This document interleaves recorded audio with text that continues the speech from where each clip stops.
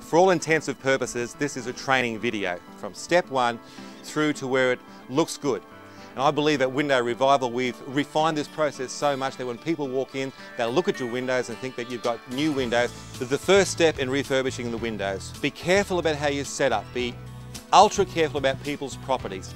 Some of the downfalls of this uh, business, well not so much downfalls, you're in the private recesses of their house, invading their space. Little things like as you go into the front door, fold up the drop sheet so you've got walkways through the house because people have spent thousands on renovations. You've set yourself up, the clients uh, are happy, you've got your drop sheets down, we're about to start painting some windows. Step one is we take the fly screen out as you can see Quentin doing here. That comes out and that goes out into the backyard and the, and the fly wire and the spline rubber gets stripped out of it, which we'll show you afterwards. Second step, is you take the sliding sash out. On this one, as you can see, it's already taken out, but for example purposes here, I've got one from the upstairs bathroom. We've moved from the fixed frame on the house now out into the yard and we're going to go through all the aspects of prepping up a window sash, masking up and getting ready for spraying. The first step here is we need to take the handle off. Now some handles slip off very easily, straight out, Others have little bits and pieces of, of screws in here. They're all different. Step one is to take the handle off. Now step two is we've got felts. Every window's different. This one's got four, one on the, one on the top, or one on the bottom, and one up either side. If you look down closely in here, you'll see how this sort of comes to a T-junction. This one slips out easy. If only they were all like that, but they're not. Next step is we've got to take the rollers out. This particular type of one comes out quite easy. It's just a matter of a, a screw on the side and it slots straight out and slot back in. And you obviously can't spray with it in because it's going to look terrible and that will jam up the roller and it won't work properly. Let's move on now to the surface preparation so we can get paint to stick to it. Let's face it, anyone can put paint on, but, but we want to put it on so it stays on because you don't want to be getting called in two months, three months, four years time. You, you want a product that you're going to be proud of and you can walk away of knowing that you've done your best. With the sash here, you'll notice how Pete's just scouring this one. We don't have to sand it right back to nothing. This one, the surface is quite good, so it just needs to be keyed up. Now what that means is it's just roughing it up a little bit so the etch primer can stick to it. Now after Peter scoured this down, he'll then get his thinners and rub the thinners over to take off all the residue and dust. And from there, he can move on to masking it up just like you saw the boys do on the fixed panel on the house, and it's ready for spraying. But we've started the masking up process now. You'll notice he's lifted up and over the rubber. Why we do that, because we don't want to spray the rubber, because if we do that, it'll only peel off after a couple of years. So we do that, and then he'll run his Stanley knife up along there, he'll trim it off, and we're not going to have any problems at all.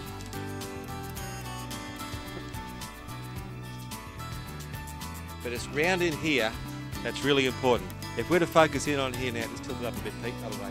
So we look in there, we can see there's lots of dust and build up in there. So he's got to get the the scourer and turn it sideways and get it in there and get it clean. Because that's part of the spraying service that you have to spray. And it's one of the bits that can easily peel if it's not cleaned and prepped right. We're moving over here to the fixed sash to spray it now. A couple of little tricks, I can't go through all of them, but one of them is you always prime the side that doesn't have the felt.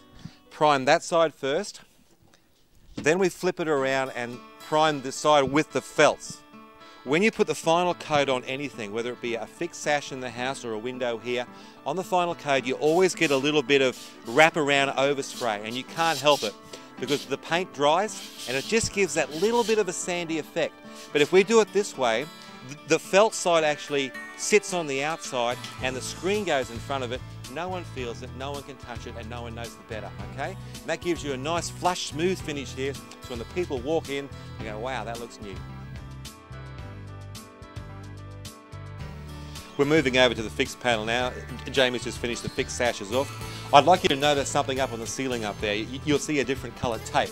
On the wall over there, we've got the yellow tape, and on the ceiling, we've got the blue tape, and there's a reason for that.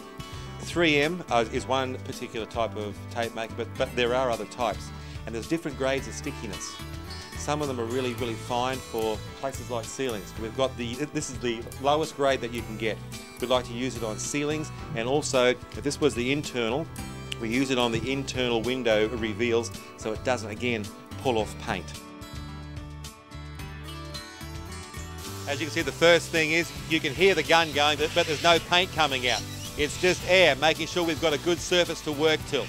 You probably go up there on the right hand side, work right hand over left hand. Same principle as doing the sashes. Just a nice duster, come across thicker and build up your film. Jamie had already pre-primed the inside, so he's just going in now. And notice that he didn't take the hose in.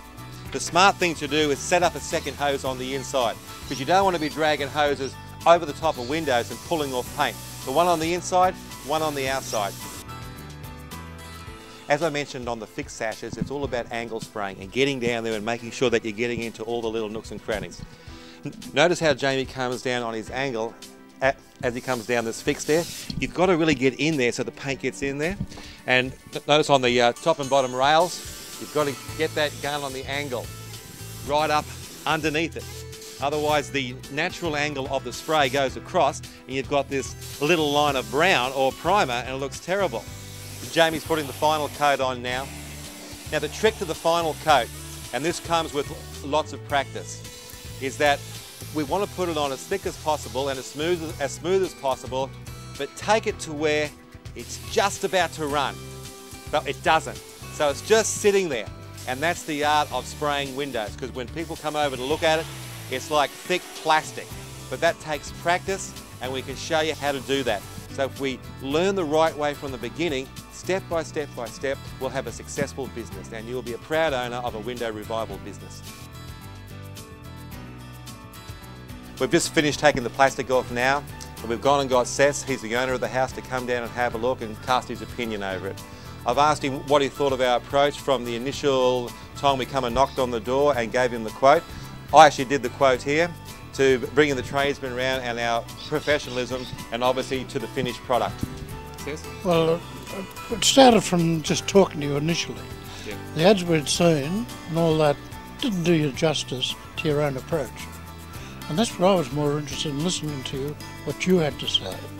And that's where the truth comes from.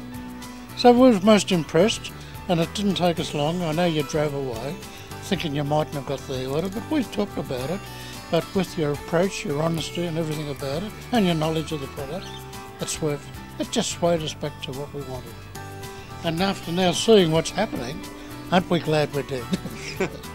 My um, supposed honesty or sincerity means nothing if, if the guys that come on the site, A, don't know what they're doing, or B, don't care about people's property. And as, as you would know looking at the video, if, if you don't care about people's property, we aren't going to do a good job and we aren't going to get referrals. So I'd just like to ask Seth, what, what do you thought about Jamie and the boys? Well, on that, Stu, is, it's 100%.